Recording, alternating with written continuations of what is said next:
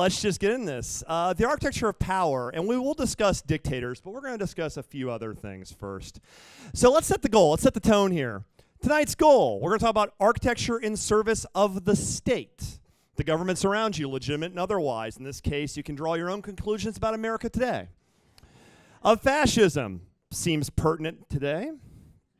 Of the cult of one, there's uh, there's Chuck Manson right there. Always a nice thing to see. The cult of one. How do you embody the needs of the one in power?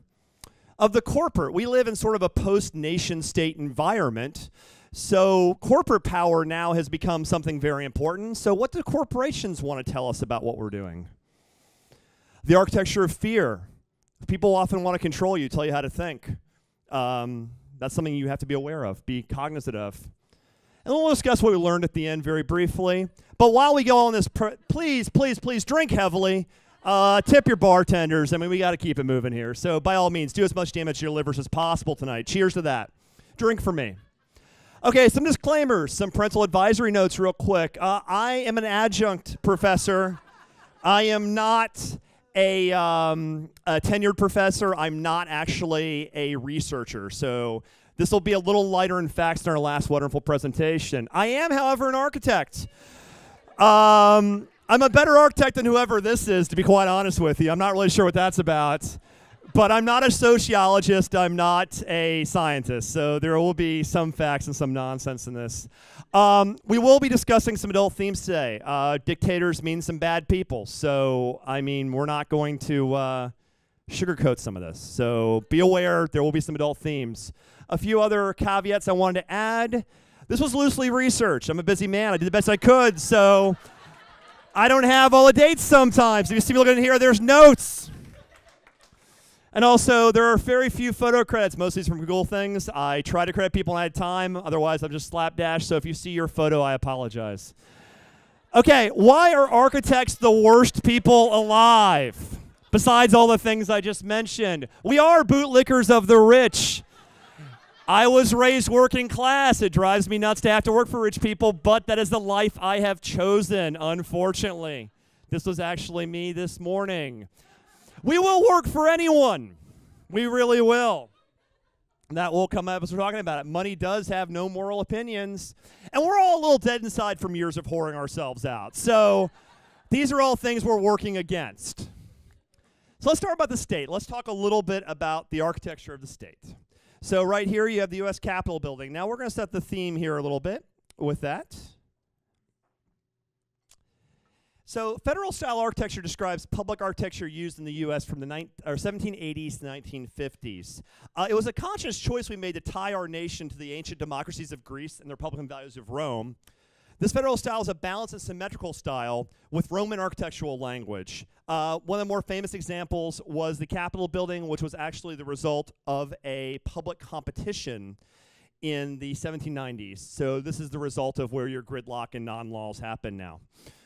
Um, it's so iconic. In fact, we can get Lego architecture this. Uh, as an architect, I am an architect because of Legos. That's why I have this career. Legos are great. Uh, this is why I chose my career. I've been playing with Legos since I was eight, and I want to be an architect since I was 12, and I got my wish. And you can see me here thinking heavily on the subject at the Art of the Brick in New York City. Also, a little bit about the plans here and what it means. So, this is a floor plan of credit Wikipedia. Don't get don't get used to seeing credits in the photos. Uh, this is a floor plan of the second floor, the main floor, and you can see like the symmetry very much measures classic Greek architecture. And it's a con- again a conscious decision to tie our young country back to the world's oldest democracies. Uh, also, you can see that they have equal weight to the House of Representatives and the Senate, giving them equal wings that are symmetrically balanced, with a great meeting place in the in, in the middle. Also, these colonnades, actually, if you go back to a couple slides, show a level of scale rendering that makes it more accessible. So even though this is a very majestic, large building, the scale helps you get a more human sense of things. Okay, and we were trying to tie it back to Greek architecture, obviously. So this is an example of what it's basically based on. It's the Parthenon, and they were acropolises. They were temples. Who here's been to Greece? Nice. I haven't been yet. Uh, I'd like to go. I'm going hopefully one day. Here's an example of the floor plan of the Parthenon. Now, part the Parthenon was not a public meeting place for laws. That happens somewhere else. But it was, however, a very interesting place. You can see that they have the low steps surrounding the building. They have a colonnade covering all sides to give it a sense of scale. They have dual entrances to the two things. And of course, the larger one is where they put the cult statue. and the smaller one's where they kept their money. So you can see right there the cult and the money. We're a very, very American thing to copy. We copy the right thing. Now, actually, the Greek theater is where they had most of their lectures, their public debates. That was actually the public forum for non religious things, which is funny we chose to copy the Parthenon because of its sort of large scale. It makes it kind of interesting. But that's was where they would have their debates. Whereas now, for us, the theater is where we just watch cursing puppets. It's a very different feeling. Uh, some other capitals are interesting. This is Brasilia, which was the product of a conscious design decision in the 1950s and 60s. Oscar Niemeyer, uh, Mr. Costa, they designed a city that was basically a utopian late modernist view. Um, it's been a, an UNESCO uh, World Heritage Site since 1987, I believe.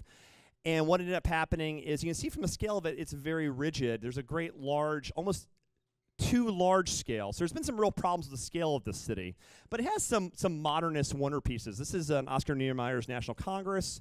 Again, the two houses of Congress are kept in uh, sort of dialogues with the two different domes. So it's a very similar sort of formal thing they were trying to do. Uh, this is also a project in Germany. This is the rebuilding of the Reichstag to celebrate the reunification of Germany. This is a project by Lord, not Sir, Lord Norman Foster. And you can see this dome caps the rebuilding of the Reichstag.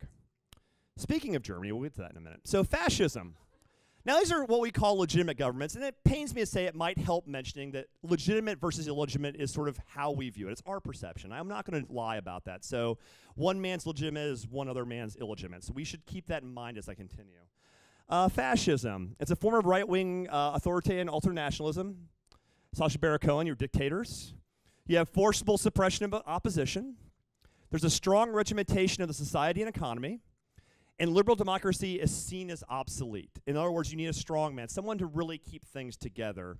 Reminds you of anybody. A totalitarian one party state is necessary to prepare for conflict and economic difficulties. Uh, let's start with Italy, too. Um, this is a game, Axis and Allies. Who played that as a kid? Anybody? Axis and Allies? It's Nerd Nite. A few? A high school uh, a high school nerd's lonely Friday night. You can see I played this a lot because I had very few chances of dates when I was a young man.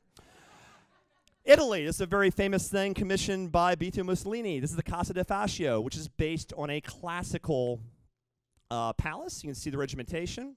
And a couple notes on the plan. So it has a large atrium that has a very static facade that allows for basically the outside to be mirrored from the inside. It's a very private thing. But the key thing about this is by having the space almost be scaleless, whoops, sorry about that, you are actually allowing the signage, the, the cult of the dictator to take, um, to take on different views of how prominently you want to show it. Um, speaking of Germany, uh, who remembers the game Wolfenstein 3D? One of the first first person. A few more people. Few more people. Quake, Doom. Uh, this is my Saturday night. Again, can't get dates. So Friday was earlier. This is Saturday. Um, lots of interesting fascist architecture from the Nazis. Um, Hitler's architect Albert Speer uh, designed the Cathedral Light, which is it's interesting because it is a, a, rather wonderful piece of showmanship in service to a very bad person. And what happened is Speer uh, demanded that a lot of his events happen at night for two reasons, and I kid you not, these are great. One is to give ideas about how powerful light was as a presentation, how beautiful his lights were, and two, because a lot of the Nazis supposedly were overweight and he didn't want to see them individually. I kid you not. It's on the internet. I read it. Um, Hitler actually decided to get all the lights from the military, and the military balked and said, We need these for the military. He goes, You don't understand. This is disinformation. If they think we can use 152 lights for this, they won't screw with us, which is an interesting way of looking at it. Other uh, examples of Nazi architecture, the Ministry of Aviation, that's now um, a public building. Also, this is the Olympia Stadium in Berlin. Um, we, they uh, got the 1936 Olympics, and uh, Hitler wanted to use this as a piece of propaganda to show that his Aryan athletes uh, were superior to other people. Enter Jesse Owens, by the way. Uh, exactly. Wonderful American. And uh, he did four events against the Germans, and he won four gold medals. So, as you can see, that's what happened here. Hitler did not get his propaganda. But speaking of stadiums, they had this megalomania. This is a common theme with um, state buildings for people who are dictators, who are these these evil peoples. They, scale matters. Speer designed the Deutsches Stadium, which was never un, which never built, which is good, but it's actually was supposed to sit 400,000 people. And, and so to compare this, it would have been four of Michigan's big house. And by the way, the Nazis also wouldn't have won the Big Ten, so they both would have lost the Big Ten. But this is going to be four Michigan big houses. Now, the weird thing is also they tried to plan a large scale replacement um, capital for Berlin called Germania, and Speer designed a master plan. And can I ask you to play the video here, please? Briefly. Please ignore the music. Dominated by the Great Hall, where 150,000 people could meet. It would be the largest building in the world. Tiny by comparison, the old Reichstag. The high command of the Wehrmacht. It's very scary music. The Führer's palace would be much larger than the new Reich Chancellery.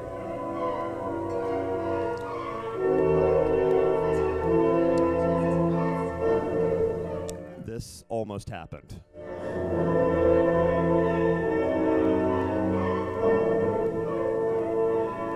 Delegations from subjugated peoples would come once a year to see and marvel.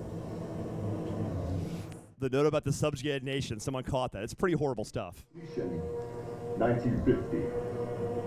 But they didn't get it done in 1950 because um, something else happened, as we all are aware, um, which is good. Thank you for that, by the way. There's one more video we'll play in a bit. Thank you. Uh, we might need a palate cleanser after that. No one wants to talk about Nazis and fascists, not have a palate cleanser. So I might suggest a picture of uh, Captain America beating up Hitler. There's a big, uh, and it seems really timely now. You've got the guys. This is obviously a worker at uh, Staples with a torch. It's very strange. Nazis are unvo- unfortunately somewhat in vogue right now. Uh, and there's this argument whether you should be able to punch a Nazi. And just in case you're wondering, I, I am very pro punching Nazis. That's Richard Spencer. If you don't know who he is, good. He is a white nationalist, and frankly, I could watch this for hours, but we have a time limit. Um, now, one more time, right? Just one more. There we go. Perfect. Okay. The cult of one. Now, fascism is usually in service to a larger group of people in control, but a cult of one deals with one person. You'll see the strongman. You'll have um, Chavez. You'll see the perpetual um, revolution of Fidel Castro. You'll even see our current uh, leader's boss, his his employer, uh, Vladimir Putin, just showing what a just manly guy he is. Which I mean, it's kind of hot to be honest with you. Um, but real power is bending the will to your to your needs. Um, guys like Benito Mussolini, I, I, when I design things, I have to worry about zoning or client's budget. He didn't have to worry about things. He says, "How many stores? Six. Six stories. Why? Six letters in my first name. How many colonnades? Nine. Why?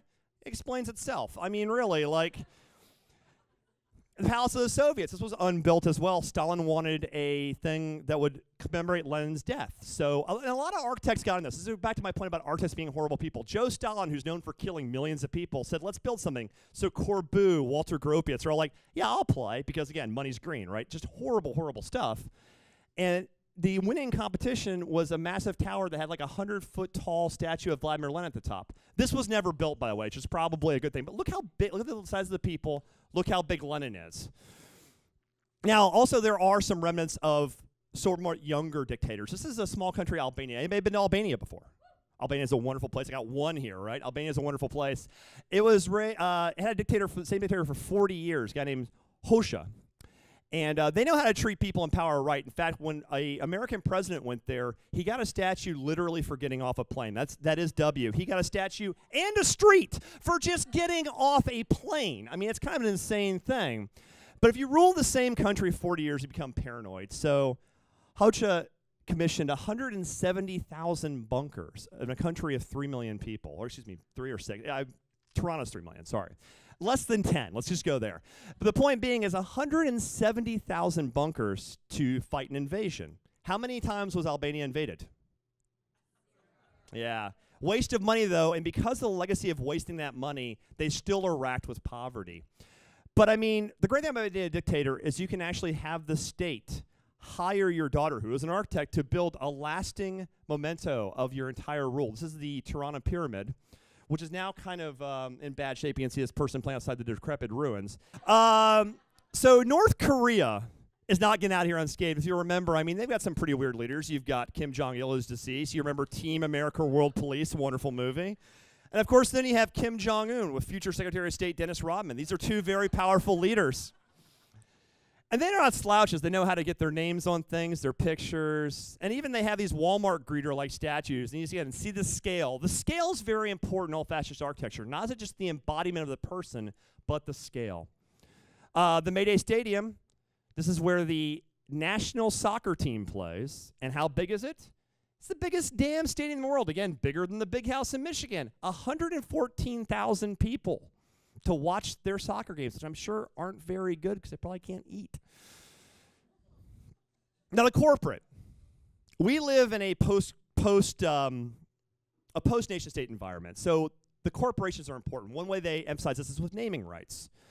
So usually professional sports stadiums are usually owned by us, but they are paid for by us, but the money goes to some private individual. So you might notice, for example, the naming rights for the Barclays Center or Citi Field.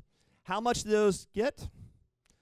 400 million over 20 years. How much of it did you guys see? None. You see none. The Amazon deal. Who has an opinion about the Amazon deal? Who's pro? Who's con? I actually was kind of looking forward to having the seven train go prime just so I could make one on day delivery. But um, some people thought it was a good idea. There's Mr. Cuomo. Some people thought it was, a, yeah, you can all boo, it's fine. Some people think it's a bad idea, but what's interesting from an architecture point of view is the site they chose. Now, this is in Long Island City. This is uh, Vernon Boulevard. And this is the zoning page from the same site I pulled. Um, and you can see it's all manufacturing districts, which doesn't allow for residential use. But they decided instead to allow the state to rezone it without any of our consent. Uh, usually, planning decisions are made by city and our elected officials. And Cuomo has decided to give Amazon carte blanche to rebuild entire areas of uh, Laura, Laura City without our say, which is kind of insane. Kind of didn't that didn't happen. We'll touch a little bit on fear. So uh, this is Memento Park in Hungary. Uh, Hungary is a former satellite state of the Soviet Union, so they took all of their sort of Soviet level things and uh, put them in a park 30 minutes outside the city. I was there a few years ago. So they still give them a place to see them, just nowhere near a place that's important. It's actually a very nice park. It's very beautiful. There's birds. It's a great time. Um, I'm originally from Memphis, Tennessee. Who knows who this is? Very bad person, Nathan Bedford Forrest. Not that Forrest, Nathan Bedford Forrest. Very bad man, founded the Klan. And that statue literally has been in my town my entire life. Uh, there were protests, however, and last year they finally got rid of it. Um, the statues we choose, exactly, the statues we choose to put up tell a lot about what we want to tell our citizens, what to be scared of. All of these Confederate statues went up in the 1920s or so. And the reason was to let people know that even though we had civil rights, they were going backwards. They were going they were trying to subjugate people again. So that's why these things went up at the time they did. Berlin Wall obviously trying to scare people from mingling. Now some people want you to be scared now. I might not be named. Some people want you to be frightened. Frightened of people around you, frightened of immigrants, frightened of people who take your jobs. It's just not something to be scared of. Usually, despots build things out of scale. They build things that don't respect their surroundings. They put their names on things. They don't have any idea of how to play nice with other buildings. I mean, it does it remind you of anyone? So, what have we learned? Well, we've learned you should stay away from your surroundings. People like me are trying to tell you something. We're hired to. So, listen to what we're saying or don't. That's up to you. Uh, be skeptical of the messages the built environment is trying to give you. If I or another architect is building something, there's something we are trying to tell you. Be skeptical. Don't take our words at face value. We, again, are the worst people in the world. Please don't believe us. And drink heavily. Uh, again, back to that. That's something you else have to do. And with that, I will take your questions. Go to nerdnite.com to find a Nerd Nite event near you. And don't forget to subscribe to our channel for our latest presentation.